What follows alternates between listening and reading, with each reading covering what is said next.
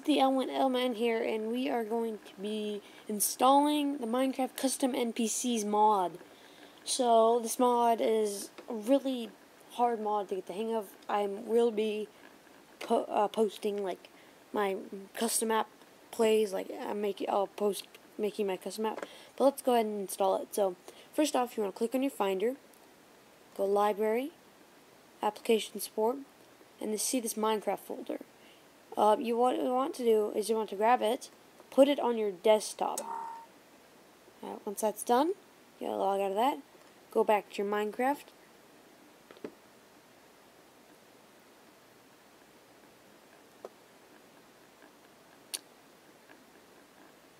You have to log in again.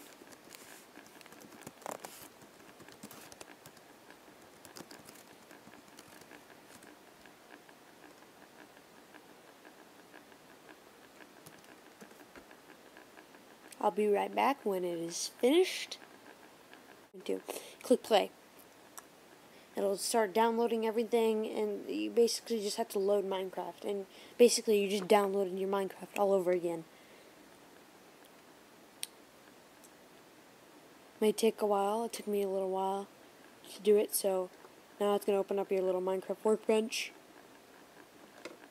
Go to Mojang.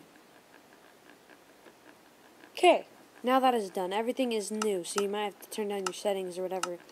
So, now, let's go to, now, once you have a new Minecraft, you can go to Google Chrome.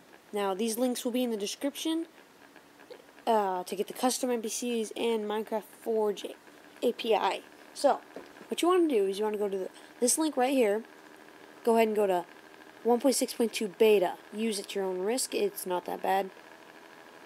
So we can go to, we can click on that link.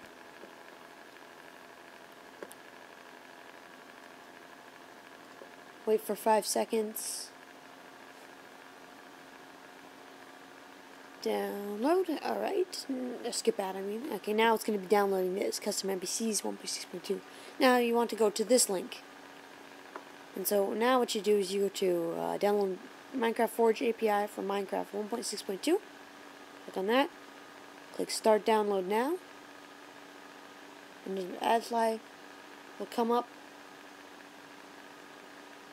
And uh, you have the same 5 seconds. Skip ad. It should download. You press Keep. Alright, now grab these, the custom NPCs 1.62.2 file, drag it onto your desktop, and then get the Minecraft Forge installer.jar and onto your desktop. Now you can exit out of Google Chrome or whatever your, your browser is. Okay, now go ahead and hit your Finder. Go to Library, Application Support, Minecraft. Now everything is going to be new, so you're not going to have your saves or anything.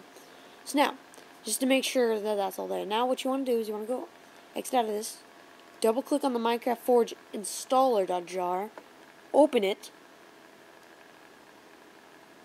It'll open and it'll have this little cup. And now, if you want a server, you can install server, but if you just want to do single player, you can click install client and then you press OK. Successfully installed client forward, profile forge for version, whatever, whatever, into launcher. Now you press OK. Go to your Minecraft 1.6.2.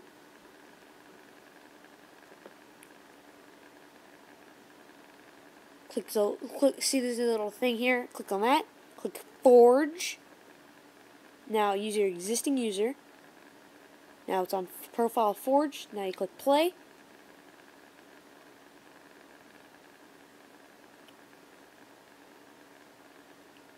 It'll open up.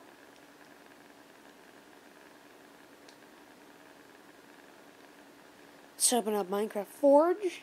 Alright, now when you open it now when you open it up it's gonna show mods. So we can go we can go ahead and delete our Minecraft Forge installer because it works. So now you go to mods, see these are all your mods are. Now you click done. You can quit your game. Now Mod that Forge works, you can go to library, application support, Minecraft again. Now see everything everything is um there's new stuff like Forge Mod Loader and so you go to mods drag your custom NPCs 1.6.2 into your mods folder, close Finder, open Minecraft 1.6.2 again.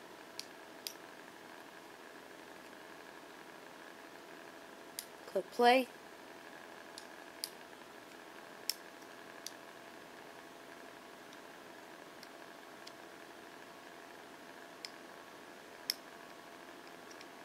It shall be opening up now. When it opens up, it'll show four mods instead of three mods, so you can tell that it's installed. So, four mods loaded. You can look in your mods, custom NPCs. Shawty's like a melody in my head that I can't keep out. Got me singing.